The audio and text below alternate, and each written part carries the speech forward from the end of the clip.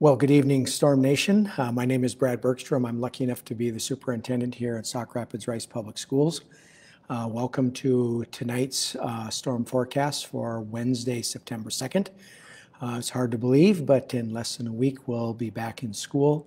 And uh, today I was in my office uh, and watching students and family come into uh, Sauk Rapids Rice High School, and and it warmed my heart to to see uh, people coming into the buildings and as part of the open house piece. And uh, it's great to see kids back, uh, whether it be at activities or coming back into buildings. I know there's a lot of open house things going on tonight. Uh, so just uh, again, just great to have everybody there. Just want to check here to make sure that everybody can hear me and see me. Hold on one second, please. I got the thumbs up. Okay, we're good to go.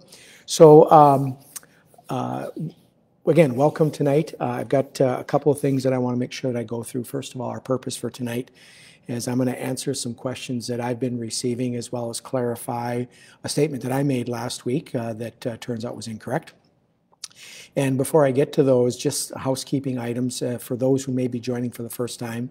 Uh, if you have questions, please put them into the comment section, and we will be. Uh, we've got people here monitoring, and we'll try to get those questions answered for you uh, as quickly as we possibly can. I may not get to all of them, and if I don't, we'll certainly put those into our frequently asked questions document. Which again, please continue to visit that uh, on our website, as there's updated information that goes there as often as we can. And then also, don't forget to continue to look at our safe learning plan. Uh, again, we continue to make updates to that as we get more updated information, and I'm going to talk a little bit about that here in just uh, in a few minutes in terms of some updates that we've gotten. So continue to go back to that. The one thing that COVID-19 has taught us is that there's a constant. That constant is change. And uh, if you think something is going to go a particular way for a long period of time, uh, just stick around a little bit and it more than likely will change. So with that, um, just the last piece I want to remind everybody of is this is an opportunity for people to get information. And uh, sometimes you may not like uh, the answer or the response. Hopefully I'm doing so in a respectful manner, but just to be kind and be, and be uh, graceful with each other tonight uh, as we uh, as we go through these. Uh, again, it's an opportunity for people to get questions asked to them. So a couple of questions that I've been asked and I want to clarify. Number one is last week I made mention of the fact that coughing was no longer uh, a symptom uh, for COVID 19 to be looking for. Uh, and while that may have been the case a little earlier, that coughing has come back on as a symptom. CDC has it. Uh, also, the Minnesota Department of Health has put that piece on there. So, uh, coughing is one of the symptoms. Uh, for COVID 19. I apologize for the inaccurate information. Again, talking about the change piece. The second thing I want to talk about is is a few weeks ago we were talking about uh, face coverings and uh, the, the question of gaiters came up, the question of face shields came up, and we didn't have a whole lot of, of direction in terms of what those two pieces are going to look like. So I'll start with gaiters. Uh, gaiters are still acceptable. Uh, we're going to be putting that back onto our safe learning plan. In fact, I've had some email conversations with members of the administrative team today, and we'll try to make sure that gets put back onto our, our document and until uh, we get information that says otherwise. The other piece that I wanted to clarify and talk about is face shields. And, and I'm going to read uh, some information that was uh, shared uh, with uh, administration and, and superintendents uh, from around the state um, on uh, yesterday, and that information uh, says uh, says the following: that face shields uh, should be used in addition to a face mask. And again, this information will go into our safe learning plan and should generally not be used as a replacement for a face mask. Okay, so I'll repeat that. Uh, face shields should be used in addition to a face mask and should generally not be used as a replacement for a face mask. And an excerpt from the CDC says a face shield is primarily used for eye protection for the person wearing it. At this time, it is not known what level of protection a face shield provides to people nearby from the spray of respiratory droplets from the wearer. There is currently not enough evidence to support the effectiveness of face shields for source control. Therefore, the CDC does not currently recommend use of face shields as a substitute for masks. Now, having said that, Uh, the Department of Health has also added a face shield or clear plastic barrier that covers the face, allows the visibility of facial expressions and lip movements for speech perception, and may be used as an alternative to face coverings in the following situations. So, again, CDC is saying face shields are not a substitute for a mask, okay? Because we're not, they're not unaware of where the, the effectiveness of a face shield. However, there are some uh, examples where a face shield will work. And again, we've got some further guidance from the Department of Health with that. And it says uh, among students in kindergarten through eighth grade, when wearing a face covering is problematic. Again, that gets back to we're expecting a face covering for all of our students, our staff, our visitors, uh, unless there is medical documentation, and uh, that needs to be shared with district administration and, and uh, to be approved. And so again, it doesn't mean that everybody can now begin to wear a face shield in K through 8. No, it's not saying that at all, but it's when there is uh, face covering is problematic. Uh, by teachers in all grades, when wearing a face covering may impede the educational process. So for example, uh, if there is a speech teacher who is working with a student who is receiving special education services for speech, and the seeing the sp speech teacher enunciate and move their uh, their mouth is, is critically important, or for the student, for the teacher to be able to see that, then a face shield could work in that process. Okay, it's not a, there's no hard and fast rule with this. Uh, there are also some face coverings out there now that do have clear in the middle of them, and we're trying to get our hands on as many of them as we possibly can uh, so that we can have them be available for people if they might need them, but they're tough to come by right now. Uh, so, and then the third piece is for staff, students, or visitors who cannot tolerate a face covering due to a developmental, medical, or behavioral health condition. And again, that's been a consistent piece. We need it from a, we need medical documentation. Uh, I've been asked questions like, um, does a dentist, if I get a note from a dentist uh, to exempt from face covering, will that work? And the answer to that is no, they're not considered to be a medical authority uh, in this instance right here. Uh, same thing with the doctor of chiropractor. They're, they're great people and, and, and they do a wonderful service. But in this case right here, they're not considered to be a medical authority, uh, so those would not work. It needs to come from uh, a, a, medical doctor, uh, a school psychologist, etc. Uh, those who are, are, would be considered to be a medical authority. So just clarifying that a little bit as well. And then again, for staff providing direct student support services when face covering impedes the service being provided. So in the end, uh, a face shield will not be a substitute for a face mask, uh, according to the CDC and the Department of Health, Minnesota Department of Health. There are some exemptions. If you think your child is uh, part of that exemption, I encourage you to reach out to administration in your child's building. Uh, this will be uh, a rarity. It's not something that's going to happen on a regular basis, and documentation from a medical authority will be needed uh, in order to, uh, to support a face shield being in place of a face mask. Um, for optimal protection, face shields should extend below the chin uh, anteriorly to the ears laterally, and there should be no exposed gap between the forehead and the shield's headpiece. So sometimes you'll see a face shield that's right here. It would need to cover the forehead. So just clarification uh, in terms of what we've just received from the Department of Health, as well as coming to us from the CDC, and wanted to make sure that everybody was aware of that.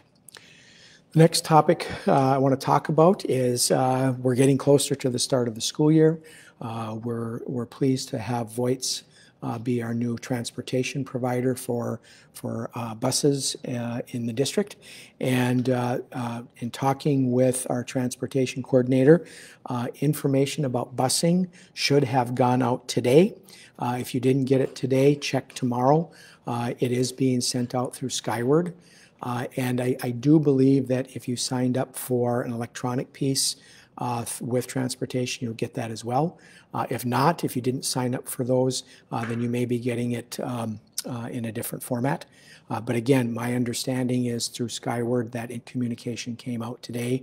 and if you didn't get it, please be looking for that or check your spam in your email if um, in, ca in, case it went to there. But we should, that information was scheduled to have gone out today uh, in regards to that. The other piece in talking with our transportation folks, we started using a an app last year, uh, I believe it was last year, called MyStop. And what it did is it gave a GPS update in terms of where your child's bus is at. Um, we have switched bus companies, and they use a different GPS uh, firm than what the previous company did. Uh, throughout the course of the summer, there's been conversations with the GPS company and our transportation scheduler. Uh, we are optimistic that those things have been solved in terms of between the two companies, nothing to do with the school or with parents. And we are hoping that MyStop will be available for parents and families uh, on the first day of school. Uh, but there is a possibility that may, might not happen. And again, it's not the kind of news I want to be able to share and, and know that it's something that uh, parents and, and, families have found very valuable. Parents, guardians, and families have found valuable. Uh, and if it's not up and running on the first day, we'll let you know as soon as it's ready to go. But fingers crossed that we'll have things ready to go for MyStop as well. The last item that I wish to talk to you about is uh, we received some uh, additional guidance uh, from uh, the Minnesota Department of Health yesterday. Uh, in regards to what it's called the COVID 19 decision tree for people in schools. And a couple of very important things with this. Number one is uh, the Department of Health is considering anybody who comes into the school building, whether it's a student, an adult, uh, somebody who works there, uh, all considered to be the same. So it's not the set of ground rules for kids, the set of ground rules for adults. It's anybody who comes into a school setting. And they've done a couple of things that I want to make sure that you're aware of. So, number one is they have uh, taken the symptoms for COVID 19 and they've broken them down into two categories. And the first category is called the less common uh, category, and that includes things like a sore throat, uh, you're being nauseous, uh, vomiting, chills, muscle pain, and there's a few more associated with that. And we're going to be putting this information onto our webpage. Uh, if you log on to the homepage, there's a COVID 19 uh, link uh, kind of about halfway down uh, right next to where our safe learning plan is at. Click on that and that will be at the very top and this information from the, from the Department of Health will be there. We've also generated a a letter uh, uh, for families uh, to give them a bit more information with it. I know it's being shared uh, at the elementary buildings through, through open house, and it's also available at the secondary level uh, for those families that might want some information around that as well. And we are expecting from the Department of Health a, a document for more information for parents. Kind of wish we would have had it now uh, to, to share with you, but as soon as we get that, we'll put that on that COVID site as well.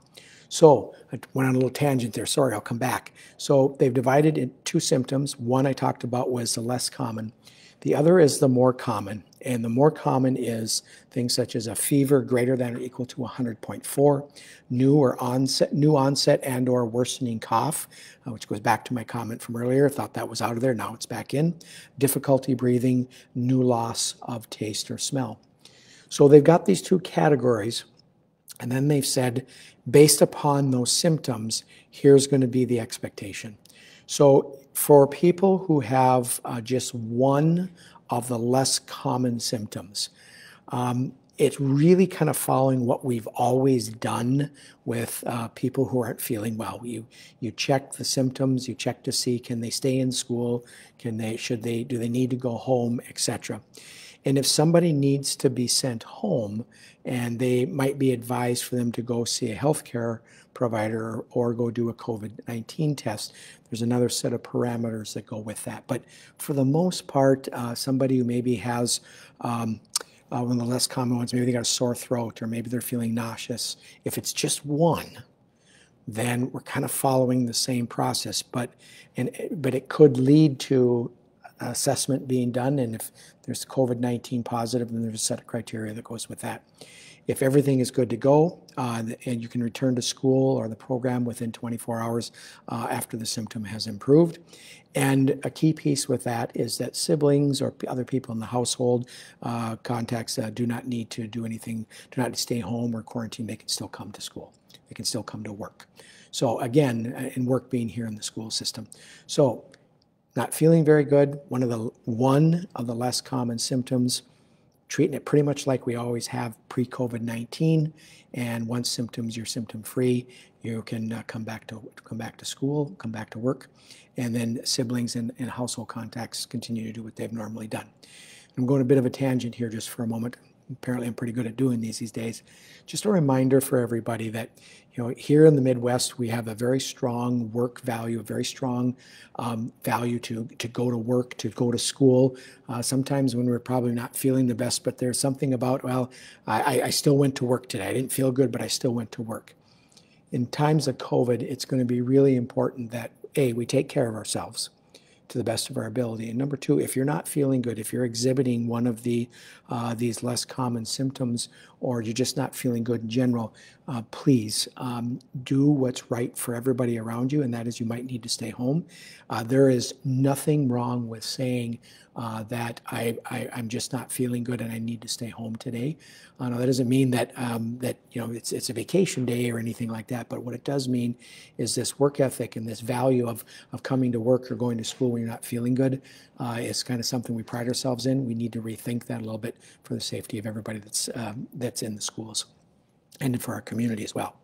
So with that, I'll come back to now. What happens if somebody has one of the more common symptoms or if they have two or more of the less common symptoms. So now things start to change a little bit in terms of the recommendation from the Department of Health. And, and number one, again, you have to stay home. That is the, the one piece. And if you come to school and you, you, you, start to feel that way, you, you get sent home. And then there's a process that goes through in terms of of getting checked, getting assessed, uh, need to be sent home?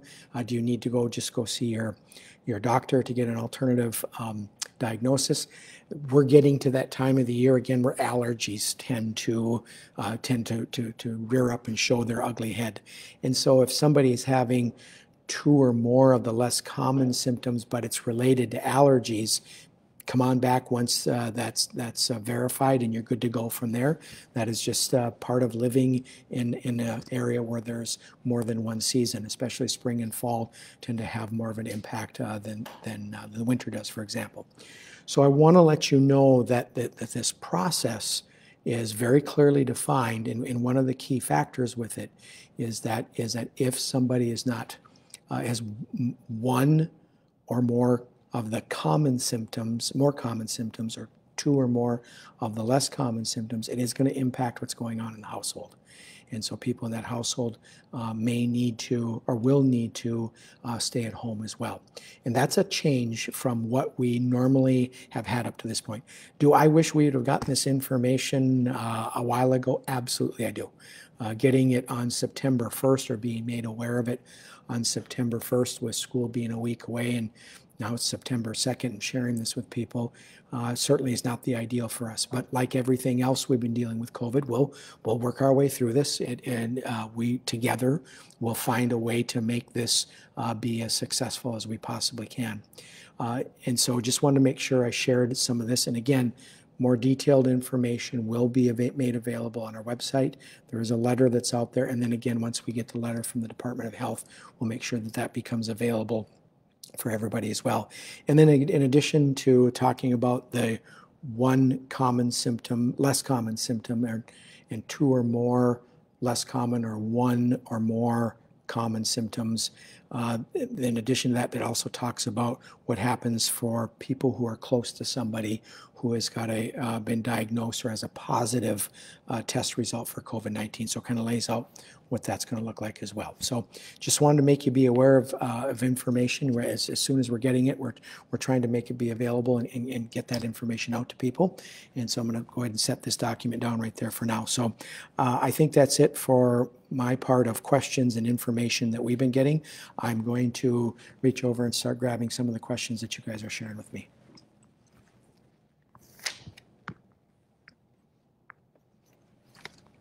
So our first question tonight is, should parents or guardians get a note from a doctor if their student has uh, chronic allergies? And, and I would suggest that yes, that that be the, be the case. That can be on file uh, in the health office and we can let staff know uh, what's going on with that. So if somebody has chronic allergies, what's to be expected with that? And uh, again, uh, we're also going to be getting into the not too distant future uh, into uh, cold and flu season. And so some of these um, same symptoms mask themselves in terms of COVID 19, or you could say it masks itself in terms of symptoms related to allergies or, or, or, or flu unrelated to, to COVID 19. So, yes, I think that would be a really good idea. Again, it stems back to that piece that we've spent a lot of time talking about in these Facebook Live sessions is the importance of communication, timely communication. And so, again, I think it would be a good idea if you're if a child has chronic allergies or if you are an employee in the district and you have chronic allergies, get that documentation uh, from, from a medical authority, share that with us so that we're aware of, of, of what those symptoms might be.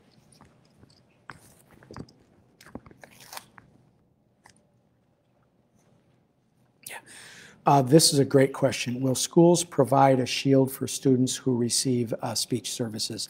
And the answer to that is no. Um, and uh, but we do have, as a, as a reminder, uh, we did get um, some shields from the state of Minnesota uh, as part of the plan uh, for, that the governor laid out in terms of providing a cloth mask uh, some disposable masks, and also uh, for our staff, there's some some face shields, etc. So, really, at the end of the day, um, if a face shield is is needed, we'll work with the families to try and find a way to make that happen. I think I mentioned a little earlier, we're trying to get our hands on some of those masks that might be available with the clear plastic piece.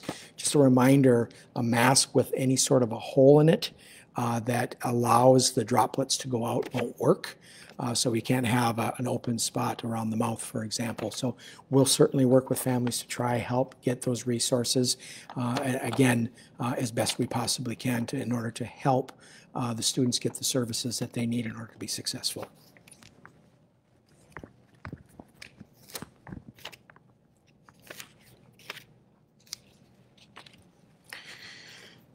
So the next question is, do students wear masks in class? And the answer to that is absolutely yes. They will be uh, wearing their masks in class.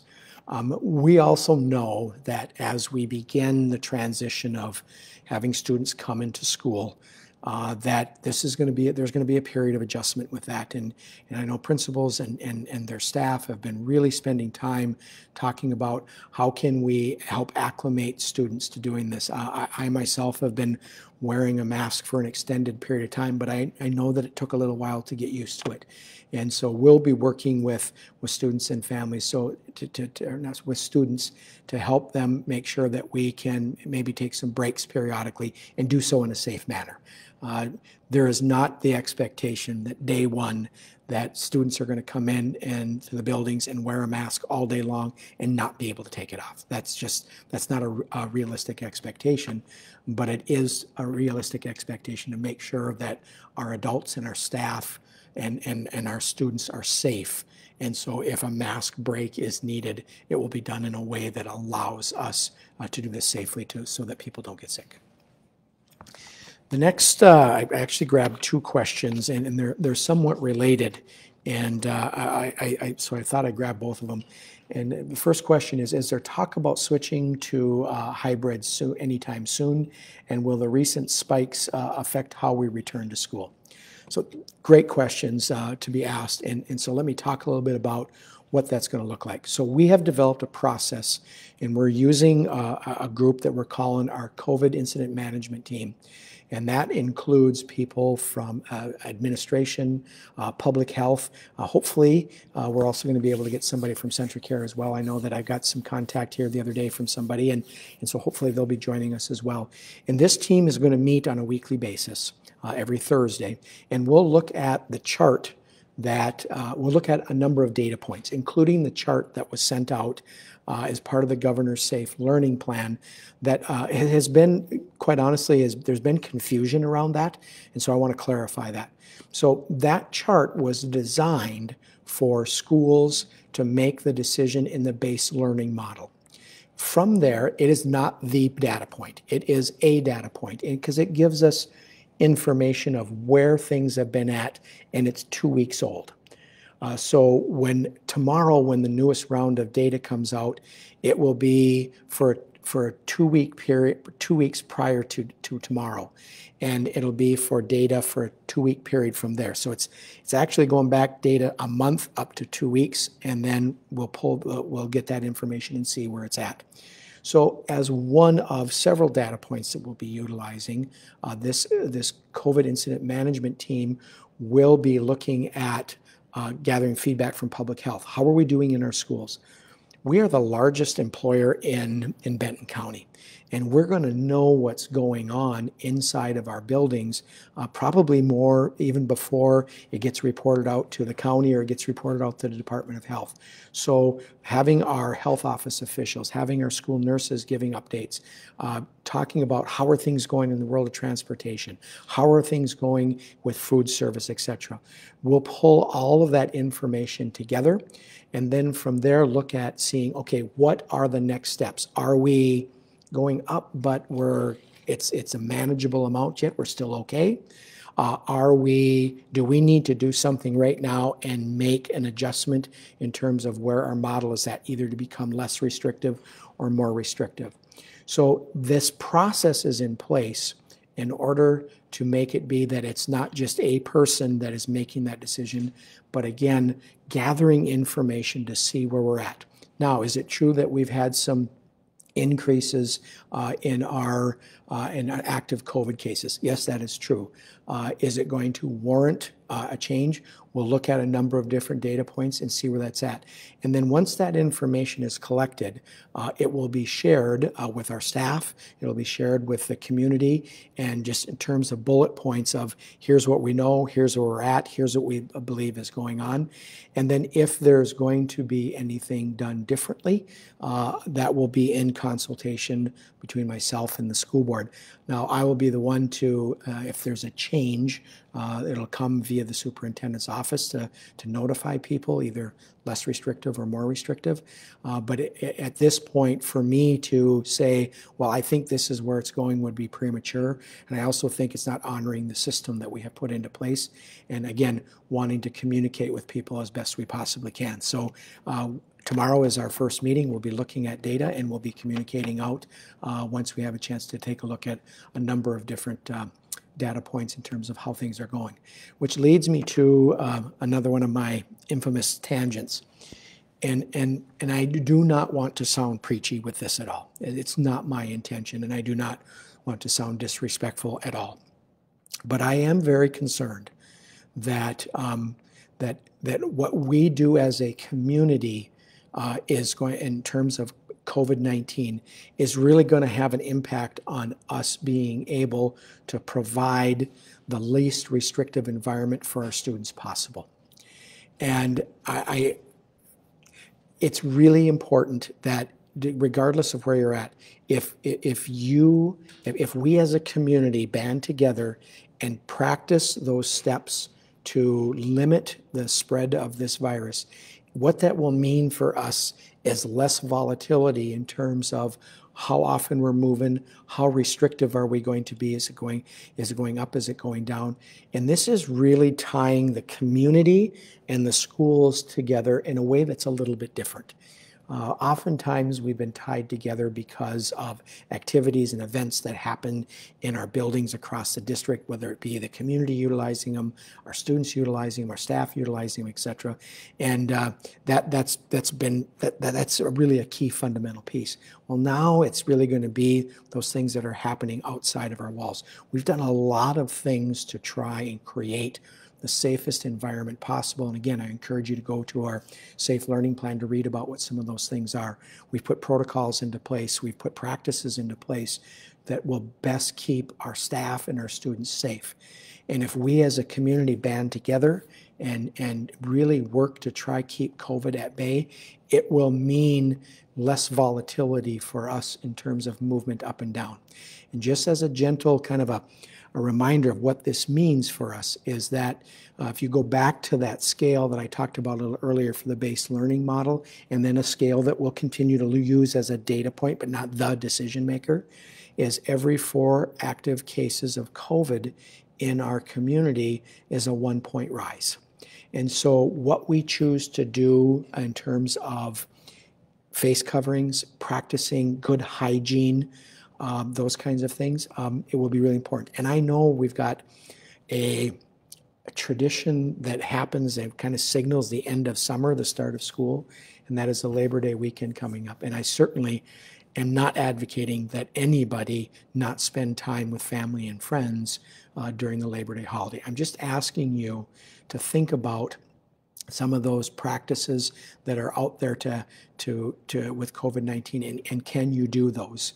Because if you can, that will help us preventing the spread uh, of COVID and more importantly, will keep our children coming into school in a safe environment, being educated by their teachers, which we know they do an amazing job with and do a great job with, without having to do this bounce all over the place in terms of, well, this week we're in this model, in two weeks we're going to be in this model.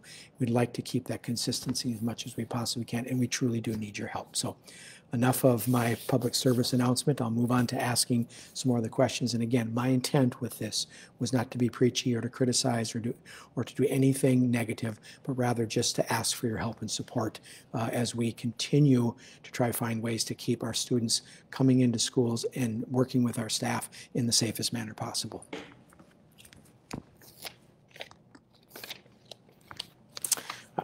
Got a couple of mask questions here, and uh, the first question is, are the Storm logo masks for sale?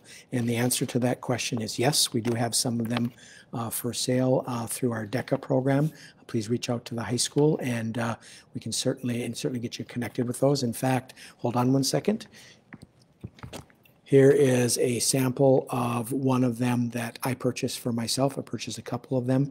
Uh, they seem to fit pretty good and don't pulling the ears quite so bad. And uh, for those of us who wear glasses, uh, you can get it up high enough so that's not fogging up your glasses. So just reach out to the high school, and, and yes, we have, and we also have a new uh, mask with uh, the Storm logo on it. And I, uh, I have gotten one. I haven't had a chance to use it yet, but those that have have talked about it being much more comfortable. Again, not pulling on the ears quite so hard.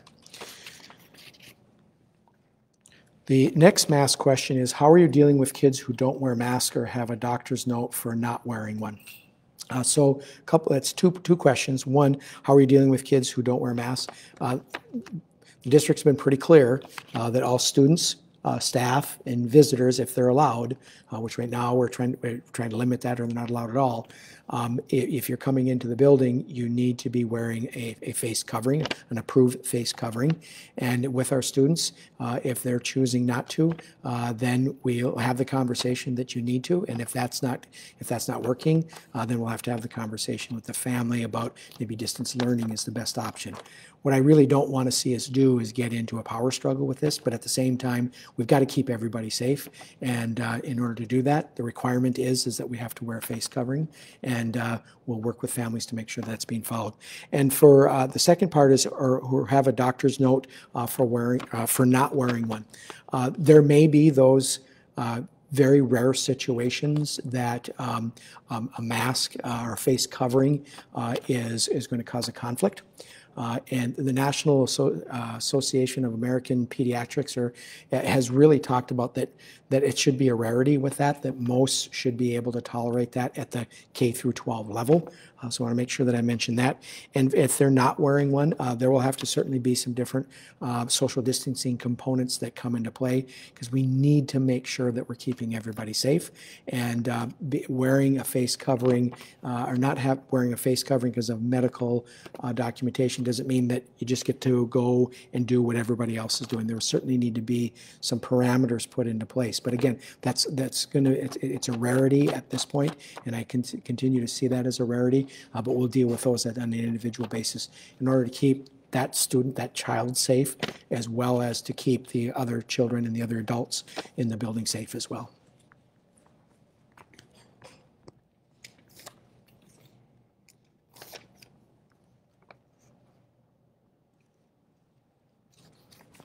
So the next two questions are, are you requesting quarantines for kids, families who travel out of state? Uh, at this point, uh, I am not aware of any Department of Health recommendation for uh, quarantining for students, uh, for kids, families who travel out of state.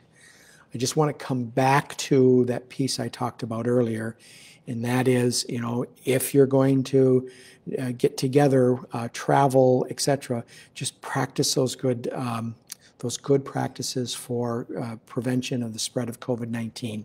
Uh, face coverings washing your hands regularly, practicing good social distancing. Um, it doesn't mean that we have to eliminate uh, doing the things that we, we sometimes like to do. And, and, and this has been really hard. This has been six, almost six months of people being asked to do things differently. And I understand that. But, but to the question is if we do get a Department of Health or a CDC recommendation, then yes, of course, we would follow that. Uh, but at this time, there is uh, nothing uh, indicating that. The next question is, will the district keep an eye on cases in Stearns uh, because we have many students and staff that live there and, and we shop there? Again, um, we have students uh, that come to us from a variety of different places. And uh, so uh, will we be keeping an eye on those numbers? Yes, that's one of the many data, multiple data points. Many sounds like a whole bunch of them. It's one of multiple data points that we'll be looking at. How are we do? How are things going on around us?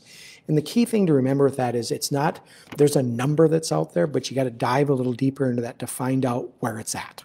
Uh, an example that I've shared with others is, is that uh, in, a, in a neighboring county, uh, there is the, the prison system. The prison is there.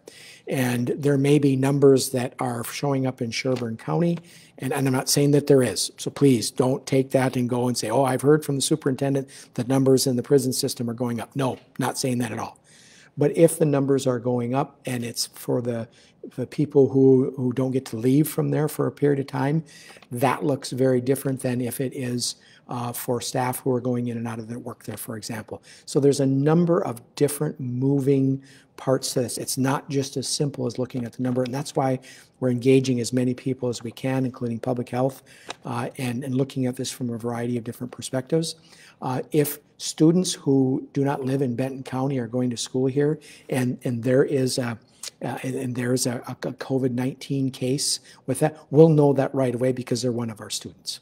And so, again, it's, it's the data is reported back to this county where the student lives. It's just like there are students that live in Benton County that may be choosing to go to school in a non-Benton County school. And so again, that's why it's important that public health becomes a part of this because uh, they have a broader net to cast in terms of getting data for us. And so we're happy that they're a part of our team.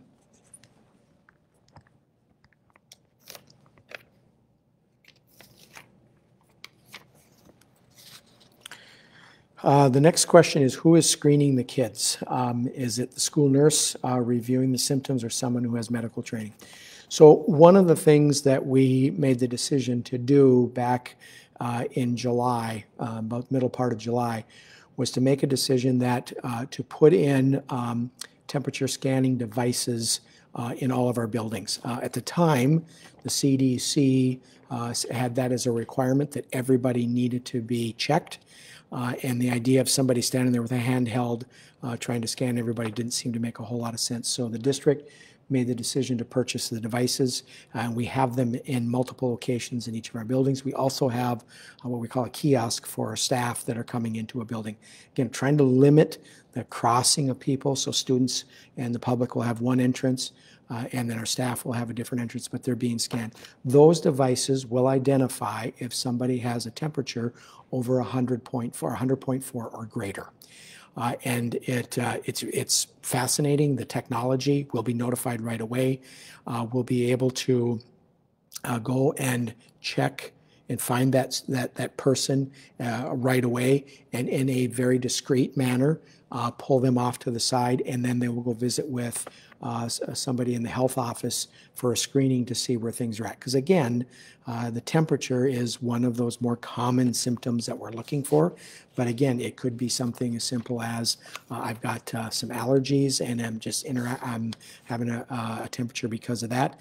Uh, so yes, it is our health office officials and then our district nurses are working with those people to make sure that we're that we're documenting and keeping track of that information. Uh, the next question is Will parents check their kids in and out if they are late or early? How does that process work?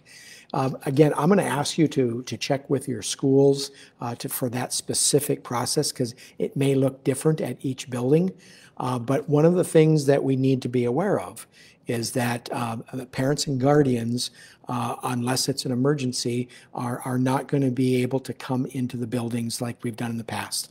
Uh, and I, I, think at the elementary level, that looks a little different than maybe what it is at the secondary level, uh, particularly at the high school level. So again, check with your building to find out a little bit more of what that looks like, uh, because again, the specifics of it may vary from building to building.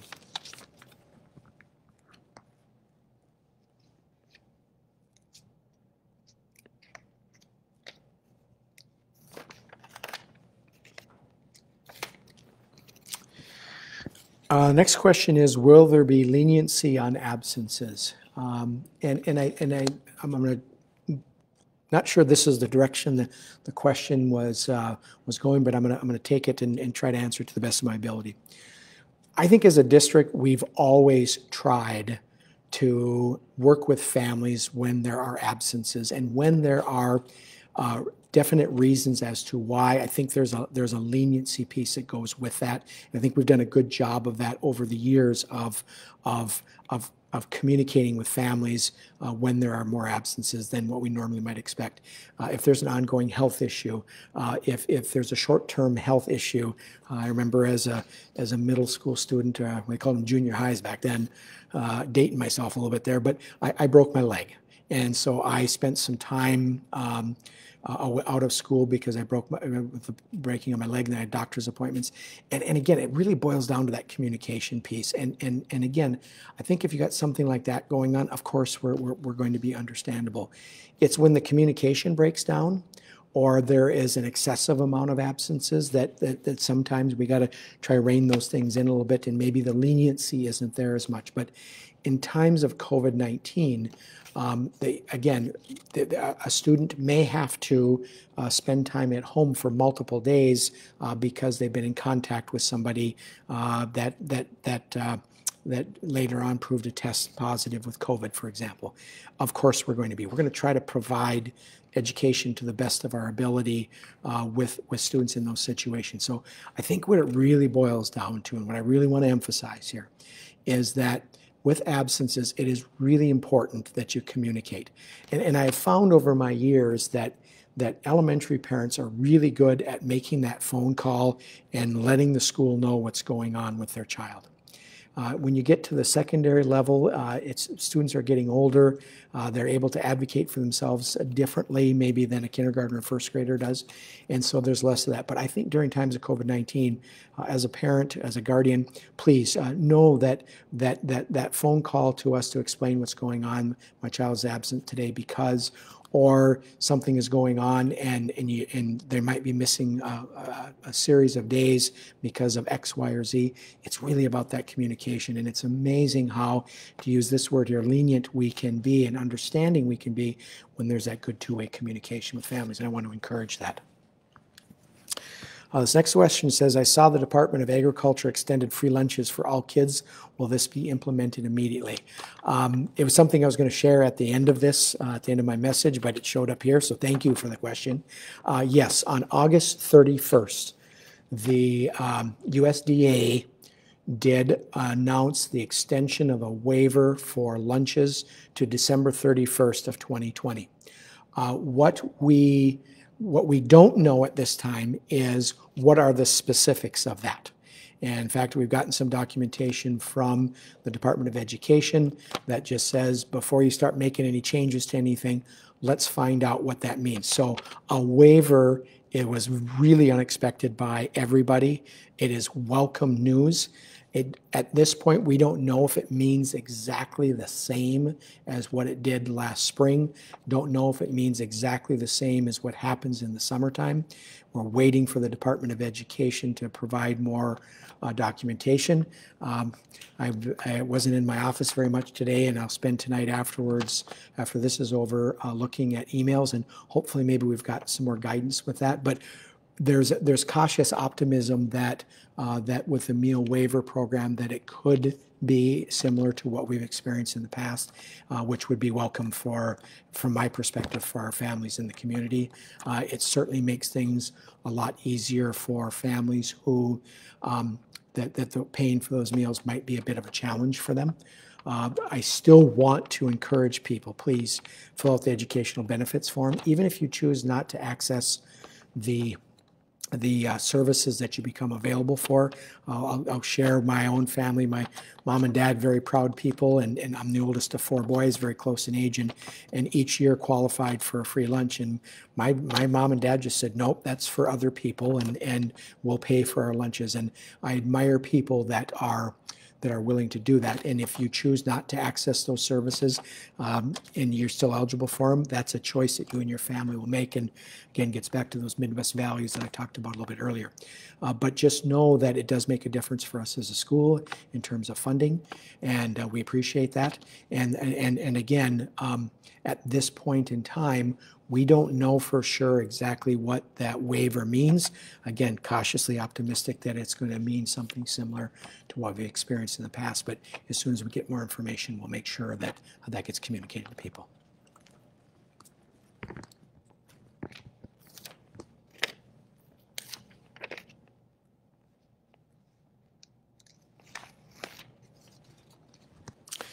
So I grabbed three questions here, uh, and I'm going to I know you're not supposed to look at your cell phone, but I anticipated this um, uh, question coming, so I did send out uh, a message in regards to this. So I'm going to take a look at my phone and read this.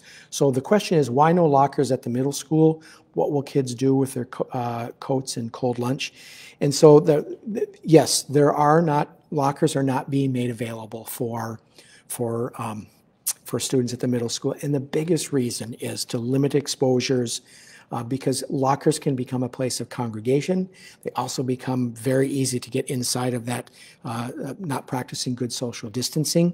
Uh, student supplies will be kept in the classroom. Uh, the students stay and, and, the teachers rotate so the supplies can stay. And again, lockers are just too close to each other. And I think that that is uh, that's a very wise decision. It's hard, uh, you know. Lockers are can have been used by students for for decades, right? Uh, although when I was a high school principal, it seemed like there was a lot more open lockers than anything else. So bottom line becomes that yes, it is a change from what we normally do, uh, and that the reason why is to limit the exposure. The next question is Is there a plan for all students to get back to school eventually, even uh, those that, cho- that choose distance learning? You know, I would love to sit here and say to you that there's a plan in place, and on this date, everybody's going to come back to school. Uh, but I, I, I, would, I would simply not be being honest with you if I said that. Uh, that's why the, the, the, the choice is there for families with distance learning. Uh, that's why the choice is there for families to follow the model that uh, that that we're in right now. The the base model that we're looking at is all students back in in uh, in school, and and again. Um, I, I would certainly hope that this would. I'd love it to happen sooner rather than later. Uh, again, you hear conversations about a vaccine and, and what does that mean. But until we can do it safely, uh, it's just not a risk that we can take.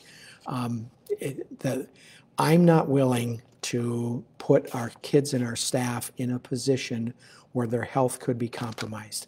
And doing so purposefully just is, it's not in my nature to do that. I just don't want to do that.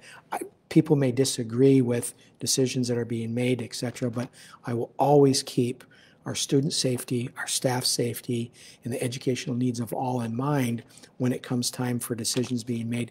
And I think Sauk Rapids Rice Public Schools has a pretty strong track record for doing those kinds of things over the years. That just didn't start when I came here on July 1st. Uh, there's a, there, a, a, long record of superintendents and boards that have made really good decisions to keep people safe. Not everybody's agreed with them. Not everybody's thought they're they're most popular in the world. But at the end of the day, doing what's right for kids. And until we can do so safely, uh, we'll be living in, in, in, the models that were currently are being made available to us. Uh, but again, let's uh, let's hope that because we live in the greatest country in the world, in my own estimation, uh, and we have a lot of really bright people, that there will be a solution that will allow us to come back to some semblance of normalcy. I don't know if we'll ever be back to where we were on March 13th, 2020 and before. uh, but I'm sure hopeful and I'm optimistic uh, that it's going to be closer to that than where we're at now, and let's hope that that happens sooner rather than later. Next question is picture day for students who are distance learning. Please check with your school. Uh, we realize and understand that for students who are doing distance learning, some of those are because of medical complications or underlying factors. And so we want to make sure that for families uh, that we have a very prescriptive plan for that to, to help students with the pictures. And so please check with your school in regards to that.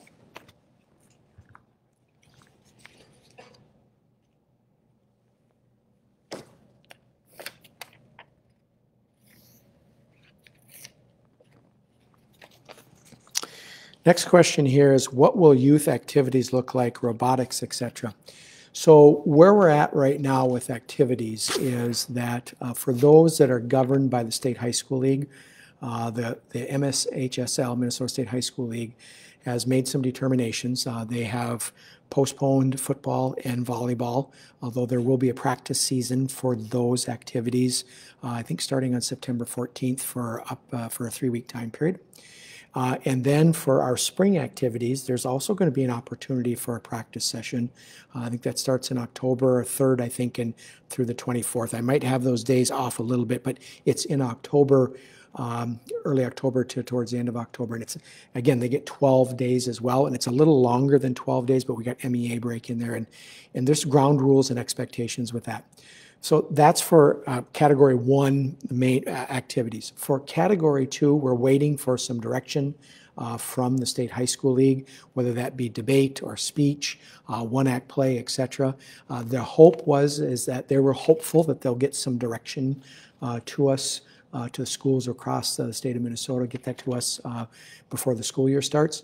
Uh, as soon as we get that information, uh, the activities office will be sharing with families, and we're, and we're cautiously uh, optimistic that we'll get some direction with that here before the school year starts. But again, not going to hold my breath waiting, and that's not uh, derogatory towards anybody. Just there's a lot of moving parts to making all these decisions, and we want to make sure that there's a good plan in place. For other categories, for other activities, uh, that happen, uh, whether it be uh, ensembles, robotics, uh, etc. Um, when staff come back together uh, and start working again in the buildings, those advisors will be getting together with advisors from around the region and really looking at what options do we have to do this. you know, I, I as a high school, as a former high school principal, um, music was an integral part of the of the building that I was in, and I used to love to go to the ensembles that uh, and and the showcases that would happen, uh, and just watch our kids excel. And and and and this would mean a bunch of kids coming together. Well, that's not going to be practical or possible during COVID nineteen. So, are there things that we can do? For example, where things could be recorded and then they could be shared? Uh, could we do ensembles and have them come do them individually and then piece them together through technology? I, and, and, and again, these are just a couple of things that, that float through my mind, and they're not, I'm not saying that's what is going to happen, but it is conversations will be happening because we want to have kids participating as much as we possibly can. I know kids are craving it. I know kids want to be able to do it, and so let's try to do that in a, in the safest manner possible. The next question has to do is how will notification be sent out when COVID is found in a building? Uh, the Department of Health uh, and the CDC have made it very clear, and it's been particularly with the Department of Health, very clear that um, COVID 19 is, uh, is private data. Uh, and so those who get notified will be those who have a right to know that or have an eminent right to know that. And so there is not going to be an announcement that comes out and says that there was three students at Sauk Rapids High School, or uh, Sauk Rapids Rice High School that had diagnosed with COVID-19. It's not going to be a general statement like that um, because we can't. That's private data those who are impacted by it or could be impacted by somebody with a COVID case? Absolutely. And we'll get that communication from the Department of Health, and then it will roll out to the impacted families uh, and students from there. Uh, we also have received some support from the state of Minnesota uh, around the state, not just we here in Sauk Rapids Rice, but around the state, and they're called regional support teams. And there's some people from the Department of Health, including an epidemiologist, uh, that's a part of that, and they will also help us with that, uh, that communication and also the contact tracing that goes with that. So the, the key to this, in my estimation, is that we limit the number of questions like who's going to be contacted by trying to limit COVID coming into our building in the first place. And the way, the best way that we can do that is to follow those practices that are that are really easy to do. Good hygiene, washing your hands, uh, doing the face covering piece. I know it's not easy. I get it. Uh, I've been wearing a face covering since the middle of July, and it's not the most comfortable thing in the world. But I'm willing to do it in order to be part of the COG to keep our staff and our students safe. And uh, I'm, I'm asking that everybody does what they can to, to, to help make sure that we do not have this bouncing all over the place with numbers. And it's not easy. Um, we want to go back to the way things were. So I think I've touched on that topic enough. I'll stop right there, but that's the answer to that question.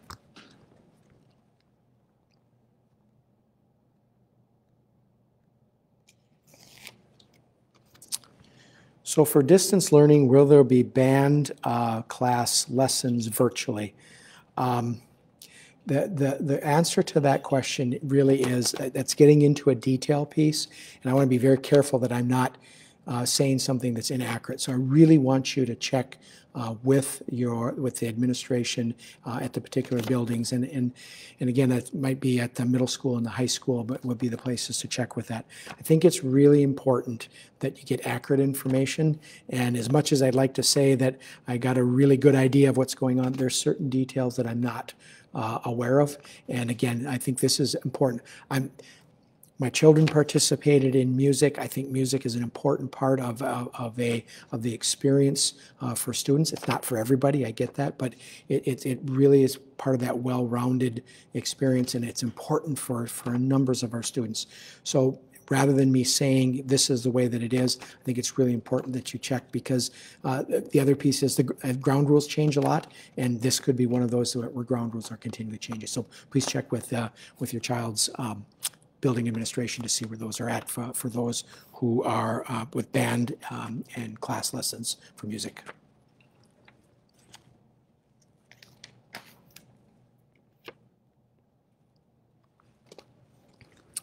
The next question is, what will Phy-Ed look like for kids going to school? Um, that's a great question. And, and I, so I think a couple of pieces with that. Number one is uh, Phy-Ed is, there's some activities that we've been used to doing uh, for periods of time that um, we're not going to be able to do. I, mean, I don't have nothing that jumps in my head right away, but I'm just, I'm, I'm anticipating that that might be the case. But we still have standards to cover. We still have expectations that we need to do. And those standards, those expectations will still be covered, but we might be doing it differently in order to keep everybody safe. Phy-Ed, as much as we possibly can, uh, will be taking place uh, outside. Um, I think that that is the, the, safest way for us to make sure that we're social distancing and also giving kids a mask break. Uh, and it's part of the Safe Learning Plan, if you look at that, that is one of the exemptions for a mask to be removed, a face covering to be removed, is when uh, they're exerting themselves during Phy-Ed, etc. So just uh, want to make you, uh, so Phy-Ed is going to still be happening. It's going to look, some of the activities might look a little different. The standards still have to be covered. And uh, we, uh, if, if it's possible to be in the gym uh, and utilize some of those spaces, as long as we can social distance, as long as we can make sure uh, that we're keeping the space safe, uh, we'll continue, we'll do that. So I just got the two minute warning. Uh, so I, I said this last time, time flies when you're having fun. And and uh, uh, this is, I do enjoy getting the opportunity to come in front of you uh, each week and, and share uh, and try to answer your questions because I think that's part of what superintendent's responsibility is to do is to try and answer people's questions and and and, and I do enjoy this format. So with that, a couple of parting comments. Number one, Uh, as we continue to get more information from the CDC, the Department of Health, and Department of Education, we will continue to update our safe learning plan. So again, continue to check with that on a regular basis uh, for updates. And then the last piece is, and I talked about this a couple of weeks ago, I want to talk about it again. If you or someone else you know has a four year degree and four year college degree, and it can be in anything, if you got a four year degree and you'd be interested in learning more about being a substitute teacher, please reach out to our Human Resources Department. Um, people will still get sick with non-COVID related things. People still need to go to the doctor. Still, people still need to do those things that happen, COVID or not. And uh, our, our staff do an amazing job, but sometimes they have to be absent. And uh, if you're interested in coming to help us out, we greatly appreciate that. Uh, just reach out to our HR office and we'll try to get you the information that's needed. I think that is it for this edition of the Storm Forecast. Again, thank you for tuning in. Uh, I will, um, I'm tentatively planning to do a session uh, next uh, next Wednesday as well. Uh, that will be after the second day of the school year. Just a reminder uh, that we are doing a slow start uh, to the school year. Not everybody's coming back at the same time. We've all got to learn new what new school looks like, whether you're a staff member or you're a student, whether you're new to the district or have been going to school here for 13 years, uh, we're going to be doing things a little differently. So it's really important that we understand what are going to be the ground rules, what are going to be the expectations. And so at the secondary level, it's a two-week rollout. At the elementary level, uh, it's a one-week rollout. Simply because at the elementary level, we can keep kids more isolated and they're more in their pods or groups uh, all day long, and so uh, feel comfortable in doing that. So uh, kids uh, will be starting next week, and and we're looking forward to having them back in the building. It's been great to have our staff as well. So just be, be safe. Uh, let us uh, communicate with us when you have questions. And in the meantime, take care and go storm. Have a good night, everybody. Thank you.